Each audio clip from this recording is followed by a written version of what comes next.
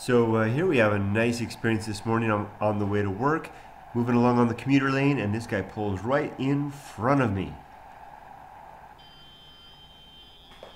Happens a lot when people get in that slower lane. They see the uh, clear traffic in the commuter lane, and over they come. It didn't seem like a lot, but that really did throw me forward. I had to hit the brakes hard enough that uh, it, it threw me forward on the bike pretty hard. Hit my leg against the uh, cylinder sticking out, but everything worked out okay. So uh, just another day on the commute. See ya.